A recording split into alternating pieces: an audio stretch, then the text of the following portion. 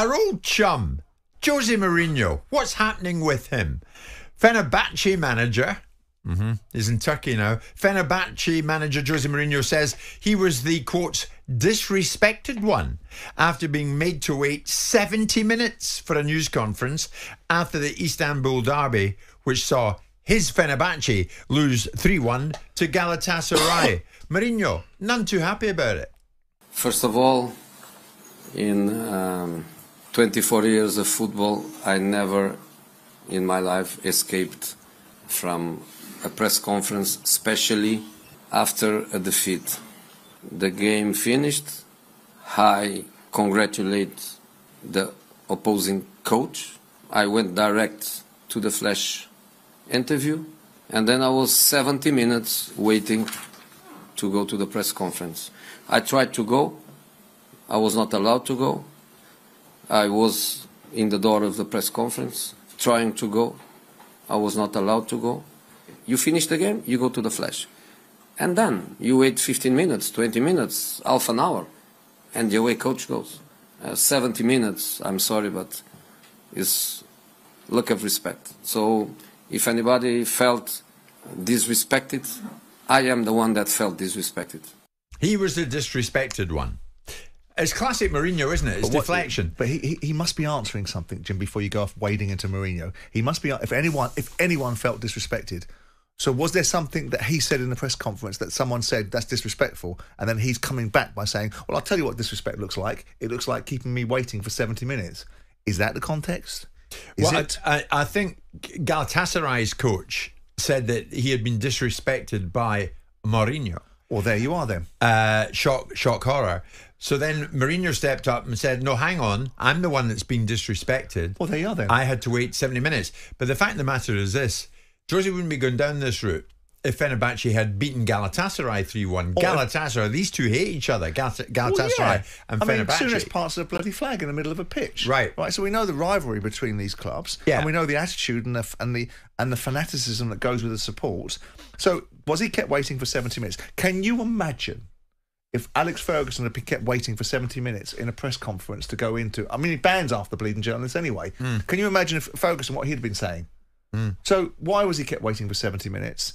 And the context of co- another coach accusing him, first of all, they're not mates, they don't have to be mates. And all this disrespect nonsense, you know, put some respect on his name, all that rubbish, right? You don't have to respect people if you don't particularly like them. You have to respect the principles of what they do. And he turned around and said, Congratulations to the Galatasaray coach for the result, right? So where's the issue here?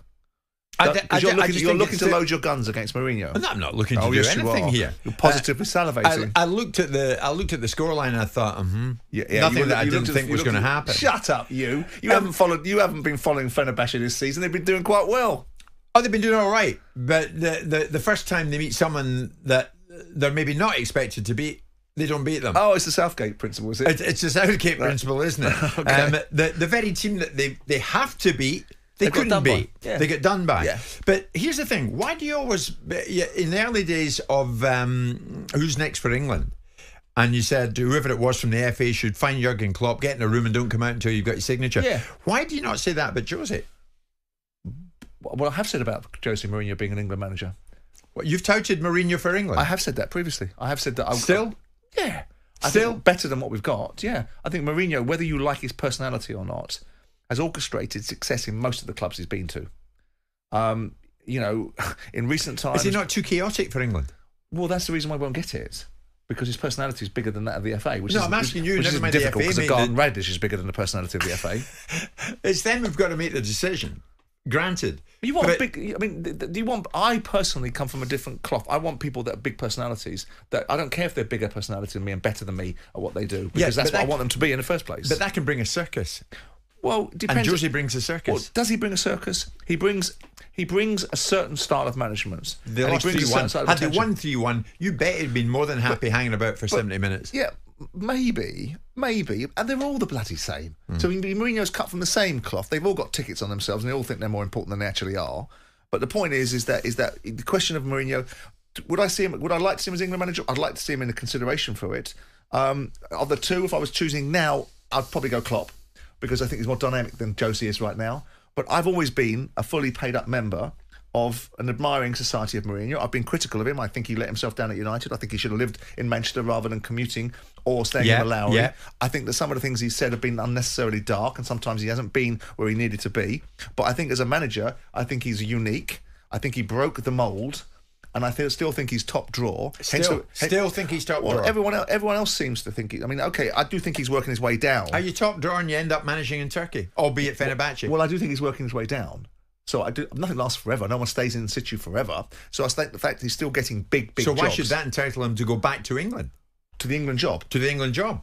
Because we're prepared to take PE teachers as England managers these days. That's so harsh. Good luck, Lee Carsley. That's probably the one and only time I'll ever say that. Jim White and Simon Jordan. Monday to Friday mornings from 10 on AM, on DAB, via the TalkSport app, and on your smart speaker. TalkSport.